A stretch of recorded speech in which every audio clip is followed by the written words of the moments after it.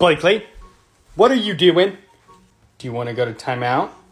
We do not climb on the bed, Missy. Do you want to go timeout?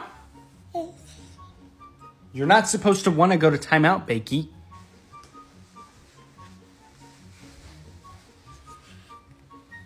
Are you in timeout?